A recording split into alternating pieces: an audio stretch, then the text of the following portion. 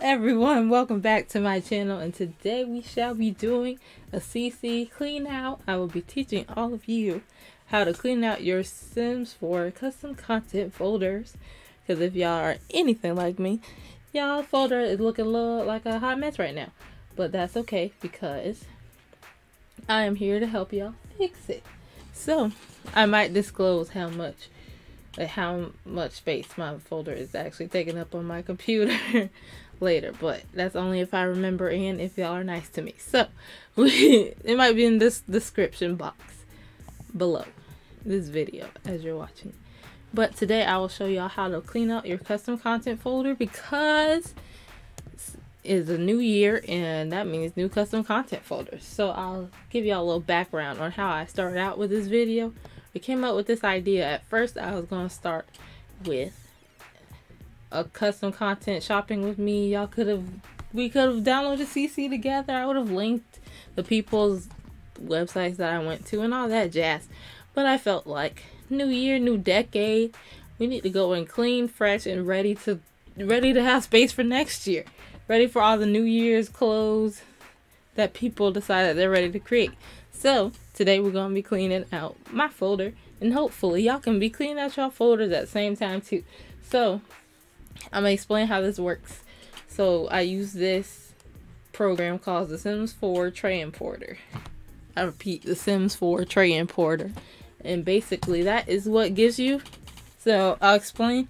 Custom content is basically just files on your computer if you never downloaded it before. So a shirt or this pair of pants that my sim is wearing is just a file that someone has made and then put on the internet for other people to download. So that's how I came into contact with this pair of pants. But sometimes you get CC that's broken or you ever got like the little question mark on the face because you missed the mesh. Yeah, we got all those hiding through our CC folders. So that's when you would like to clean them out or you have a lot of old CC and you're not feeling inspired enough to actually want to create, that's probably a good sign that it's time to clean out your folder. So that is what we're going to do today. So enough with that. I shall show you how to do it. This sim doesn't have a name yet, so we shall see what happens. Lauren able. Okay. Lauren is able. How about let's add a verb? Anyways, so I don't they randomize this foolishness. Okay, we're gonna make her an actress. Yay! So Lauren has too many clothes in her closet, and she would like to get rid of them because she's doing an end of year cleaning, and she's trying to get lit this is the next decade. Just kidding, but y'all know what I mean. Anyway, so I guess we should start with, um, I guess we should start with tops. Okay, and I'm gonna give y'all like how to do it. I'm gonna show you how to do this. So with this thing, you have five different possible outfits that you can have for each category. So each number is like one shirt, one hair, one pair of shoes, one accessory. Well, as many accessories as they will as you could wear, but whatever. So each one is what holds like each one will hold a file, as you could say. Like each one will hold an article of an outfit, like a whole outfit but it's only like one. You only put like one shirt.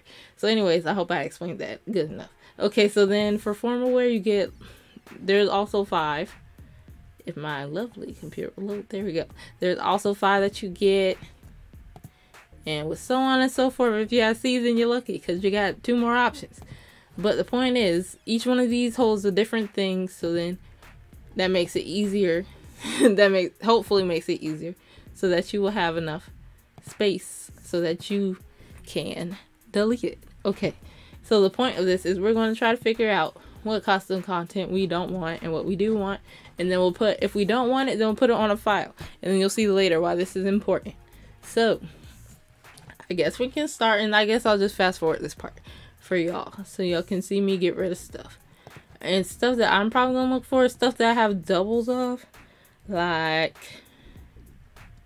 let me see like this like there's there is a difference but it's not that big and do i find myself wearing one more than the other probably not which means i can probably get rid of both i hope y'all are seeing how this works if you have any questions put them in the comments below but prime example somebody forgot a mesh and now my sim is looking all crazy. So this is one that I will put on one of these numbers.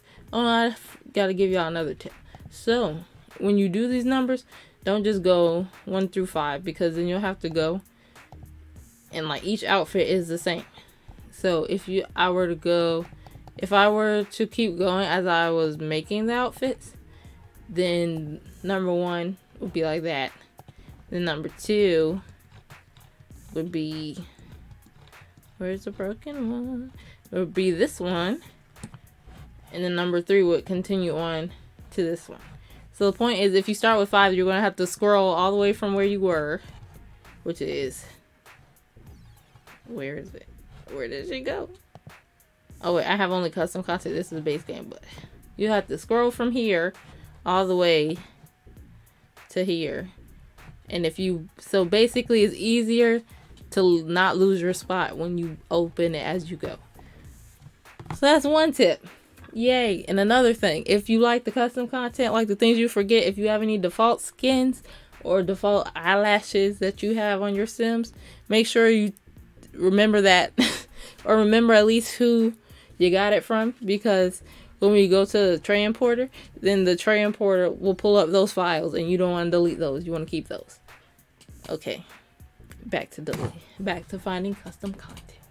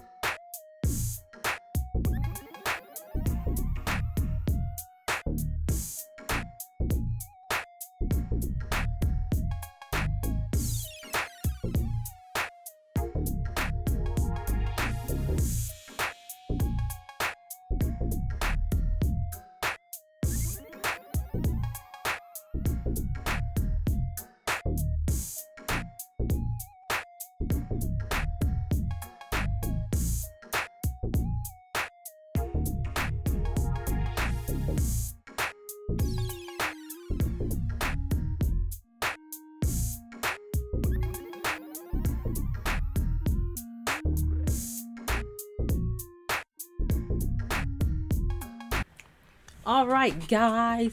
So i just did the one for every day but you can do it for these blah blah blah. Well these other what are those called? Those other styles of clothing or categories of clothing whatever. But anyways so i just did the one for every day just prove a point. You don't have to do it for all of them but I would highly highly recommend that you choose oh goodness.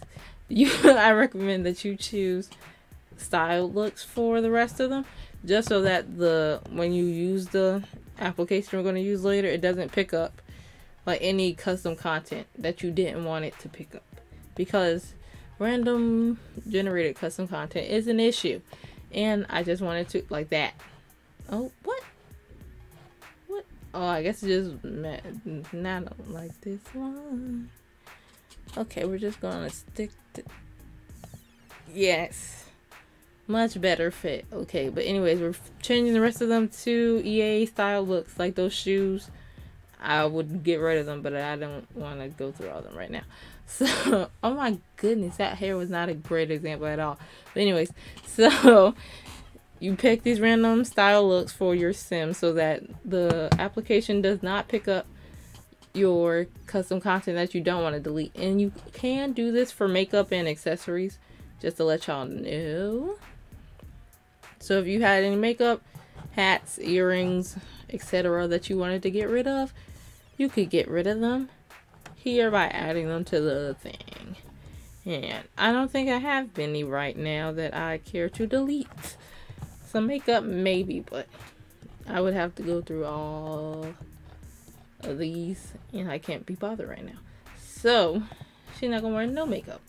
Well, any makeup on any of them. And then the daytime is just the stuff that we're gonna delete.